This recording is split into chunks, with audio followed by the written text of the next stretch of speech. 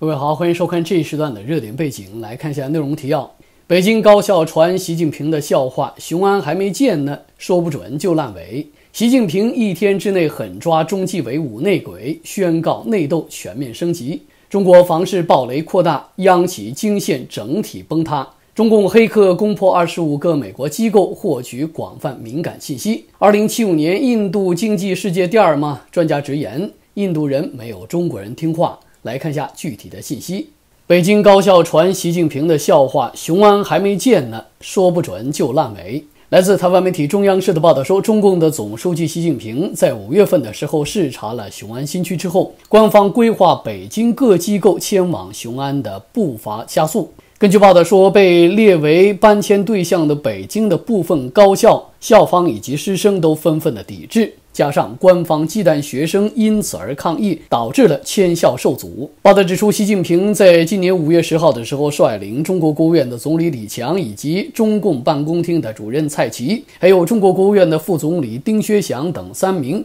中共政治局的常委视察了雄安新区。只是接续谋划第二批启动疏解的，在北京央企总部以及二三级的子公司，或者是创新业务板块等等，着手谋划金融机构、科研院所、事业单位的疏解转移。而在七月三号的时候，蔡奇以首都规划建设委员会主任的身份召开了委员会的全体会议时，也指出要坚定有序地疏解北京非首都功能，被解读为贯彻习近平上述规划北京各机构迁往雄安的指示。而根据自由亚洲电台的报道说，河北省官方在今年三月底的时候释出了北京首批四所大学：北京科技大学、北京林业大学、北京交通大学、中国地质大学北京校区整体迁往雄安新区的消息。但是这四所高校迅速一致的辟谣，否认了迁校一事。知情人士表示，河北省以及中国教育部将迁校作为了习近平交办的政治任务，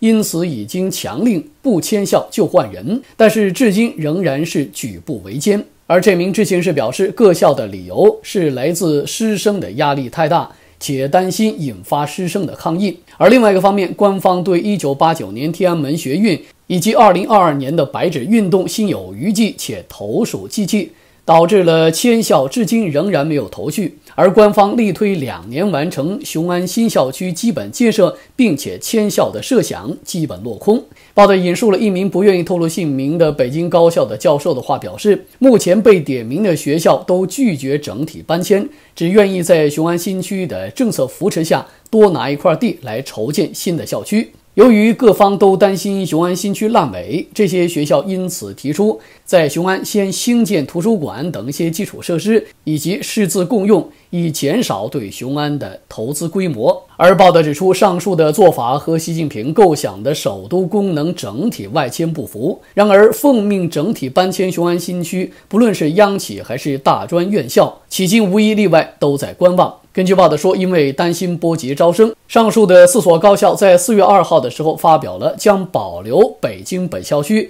仅是部分搬往雄安新区的声明之后，由河北省主导的雄安新区两委、中国教育部和这四所高校持续的进行多轮的协调。但是，随着中国经济和就业情况持续的恶化，这项迁校的计划到现在几乎处于被搁置的状态。根据报道说，北京交通大学的相关人员被问到迁校问题时，忍不住笑着说：“规划当中的雄安校区建都还没有建呢，具体的政策到现在还没有明确，现在谁也说不准政策的走向。”而北京科技大学的人员则回应表示，他们那儿不了解具体的迁校的政策，但是他没有说肯定不搬。另外，中国地质大学的人员明确地指出，官方媒体的报道只能报道他能报道的。只是说，这个最终肯定会有那么一项工作，就是迁校。然而，此事应该是部分搬迁，但是现在还没有确定。他表示说，就算他们确定了，这也是涉及到机密的。好，再来看一下，习近平一天之内狠抓中纪委五个内鬼。来自台湾媒体的报道说，中共的总书记习近平二零一二年就任之后十余年间，不停地透过中共的纪律检查委员会等一些机构进行美其名曰的反腐工作，事实上借此来清查政治背叛内鬼的官员。而根据国际媒体的分析说，近期中共内部反腐工作进入了新的阶段。习近平将重点自外围转移到了核心，转而将矛头指向了该监管机构的调查人员。公开的资料显示，近几个月以来，不仅有多名反腐机构的官员受查。就在七月十号的当天，更有五名中纪委的高官落马，无异于宣告中共内斗全面升级。报道指出，中共纪委国家监委的网站在七月十号的时候发布了公告，说五名该机构的高官，包括了江西省委巡视组的前组长卢作权，还有西部矿业集团有限公司的纪委书记陈海明。中国国家能源集团神东煤炭集团有限责任公司的前纪委书记刘永武，还有广州航海学院的党委副书记孙光辉，以及鹤岗市纪委监委驻市公安局纪检监察组的前组长，因为涉嫌严重的违纪违法，目前正在接受纪律审查和监察调查。本身就负责监督工作的五个人纷纷落马。而根据英国《金融时报》的报道指出，多伦多大学政治学家王慧玲认为，中共内斗现在可能进入了高级阶段，并且称中纪委的工作重点过去十年自地方官员转向了省级、中央官员，以及从外围转到了核心。好，再来看一下中国房市暴雷扩大，央企经线整体崩塌。来自台湾媒体中央社的报道说，中国的房地产业内人士分析说，房市的销售额急剧下滑的趋势如果不改变，房企的暴雷潮将逐步的从民营企业蔓延到中国的国企和央企开发商。但是中央层面恐怕很难公布针对房地产的强刺激的政策。报道指出，西正投资集团旗下的研究机构西正地产金融研究院在七月十号的时候发文指出，根据统计，六月份的时候，中国的碧桂园、滨江、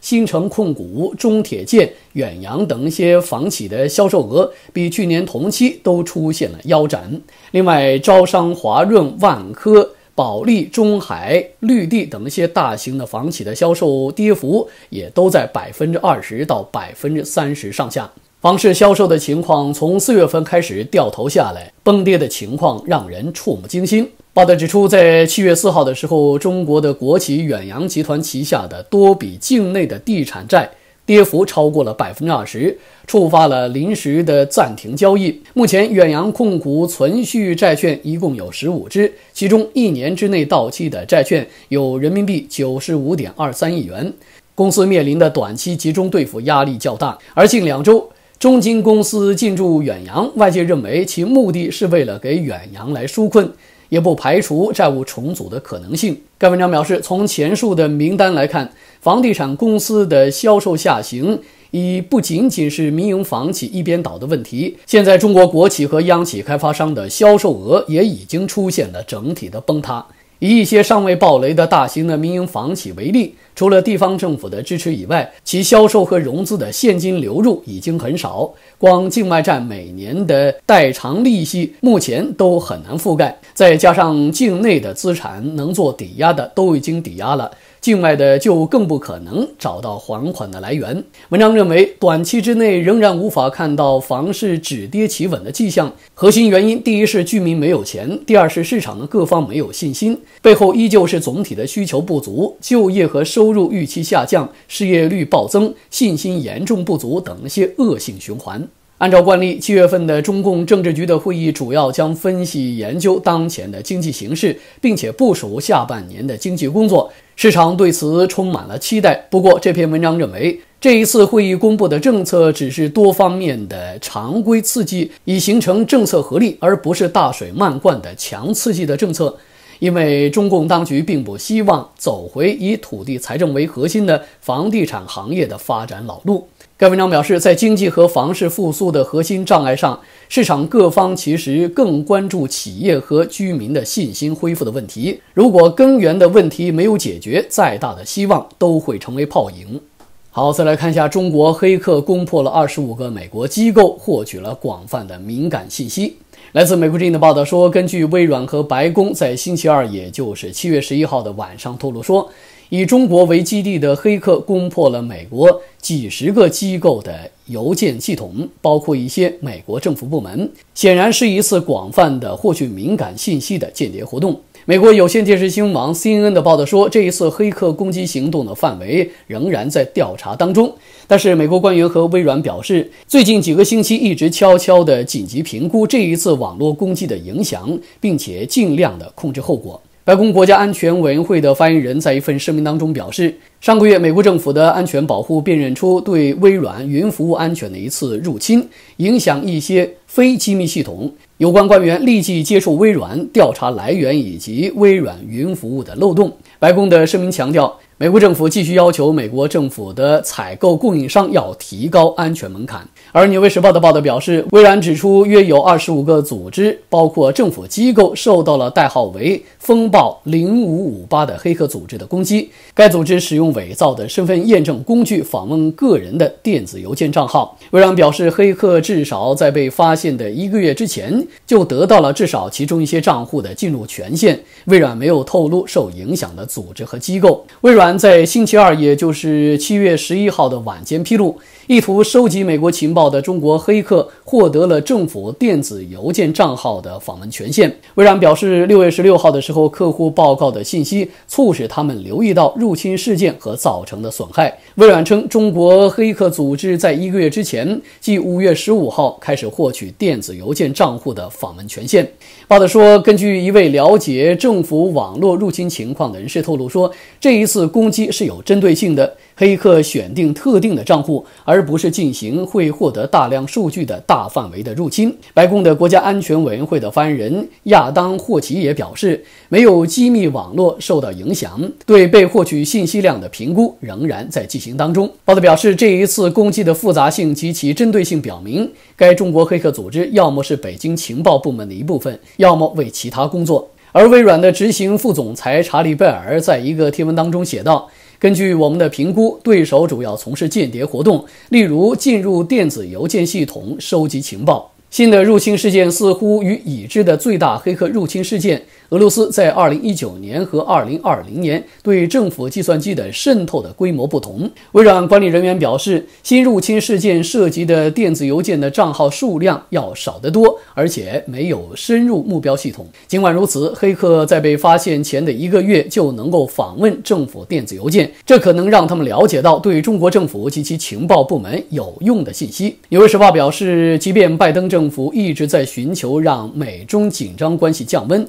但是。这场入侵可能进一步的导致两国关系紧张。此前，中国高空间谍气球在今年二月份飞越美国本土等几个事件，加剧了美中紧张的局势，令双边关系恶化至一九七九年建交以来的冰点。报道表示，外界批评拜登政府没有在威慑中国间谍活动方面有足够的作为，这一事件也将加剧相关的批评。多年以来，北京针对西方国家政府，尤其是美国，实施了一系列的黑客攻击，成功窃取了大量的政府数据。二零一五年，显然是隶属于中国间谍机构的黑客成功攻入了美国政府总务署的网站，窃取了两千多万在职以及退休联邦雇员的个人数据和其他人事管理的大量记录。好，再来看一下，高盛说，二零七五年印度的经济将会超过中国，成为世界第二。专家直言，印度人没有中国人听话。来自德国之声的报道说，高盛日前发表了文章预测。印度有望在二零七五年的时候成为世界第二大经济体。该国今年的经济增长预计可以达到百分之五点九，但是有专家认为。十年多以前，世界就曾经对印度做过过于乐观的预测，但是并没有完全的实现。投行高盛在七月六号在其网站当中发布了文章，预测到二零七五年，印度将会成为世界第二大经济体，仅次于中国，并排在美国、欧元区和日本之前。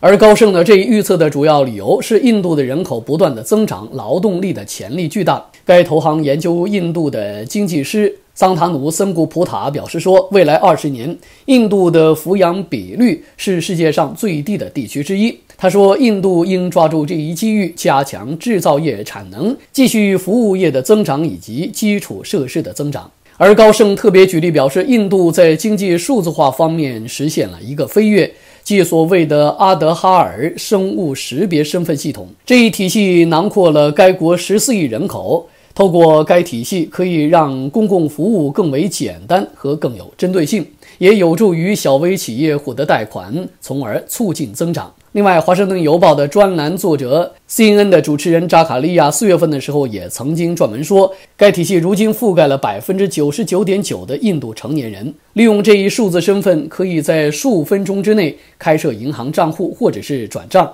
而该体系由公营机构来运营。高盛的分析当中，同时也指出，印度存在的风险则是不能够有效地提高劳动力的参与比例。分析表示，过去十五年，印度劳动力的参与比例持续的下降，特别是女性。扎卡利亚在文章当中也指出，过去二十年，印度女性的就业比例从百分之三十降至了百分之二十三。印度面临的另外一个机会，则是绿色经济。该国宣布在2070年实现零排放，并且在2030年实现一半的能源来自非化石原料。不过，德国媒体《经济周刊》在7月11号发表了哈佛肯尼迪学院的埃利森教授的客座文章，认为对印度的种种赞誉为时过早。他认为。尽管印度今年第一季度的经济增长率达到了百分之六点一，中国为百分之四点五，但是过于乐观的预测应该持谨慎的态度。他引述了扎卡利亚的文章说，在二零零六年的前后，印度的增长甚至超过了百分之九。当时世界对印度经济也是一片看好，甚至印度的外贸部长也预测该国的经济很快会超过中国。然而事实并非完全如此。如今印度的经济世界排名第五。位于美国、中国、日本、德国之后，而中国的国内生产总值是印度的五倍。埃利森教授的文章还指出，除此以外，中国在科技方面仍旧领先于印度。在世界前二十家营业额最高的科技企业当中，有四家是中国公司，而无任何一家印度企业上榜。在人工智能方面，中国也是唯一能够与美国一争高下的国家。此外，埃利森教授认为，中国的劳动力其生产效率要高于印度。高盛的预测当中也指出，印度的庞大人口明显是一个机遇，但是挑战是如何有效地使用这些劳动力。这意味着在创造就业岗位的同时，为其提供技能培训。艾利森教授引述了新加坡前总理李光耀对印度发展的评论，称李光耀一直寄望于印度的强大能够与中国抗衡。但是后来李光耀发现，由于印度的种姓制度、官僚主义以及精英阶层不愿意面对纷繁复杂的民族与宗教群体所提出来的要求，因此很难达到应有的经济效率。扎卡利亚的文章当中也举例说，印度的穆斯林族群占到了该国人口的七分之一，但是持续受到迫害。不过，扎卡利亚同时也对印度抱有信心。他认为，印度得以大范围的普及智能手机和互联网。与此同时，借助阿德哈尔身份识别体系，可以帮助成百上千的小微企业获得贷款，从而多雇佣两名员工，这就能够增加上千万的就业机会。这样一种从下而上的方式，与中国从上而下的，比如新盖一百家工厂以增加数万个就业岗位的方式完全不同。